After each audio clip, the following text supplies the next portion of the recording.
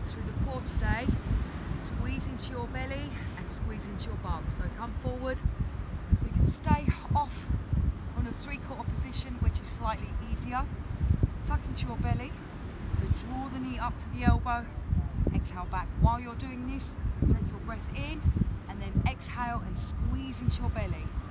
So to make this harder, come up into a high full plank, as we call it, on the hands.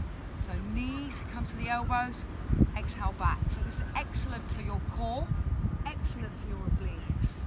There, so as soon as you feel stronger, draw that up and then bend into it as well. Exhale and then slide back. So draw the knee in, bend down, exhale, slide back.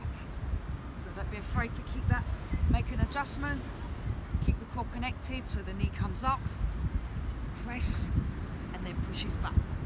Squeeze into your bum and thighs.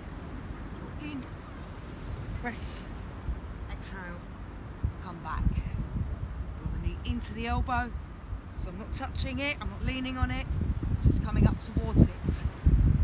Knee in, exhale down, lift, back.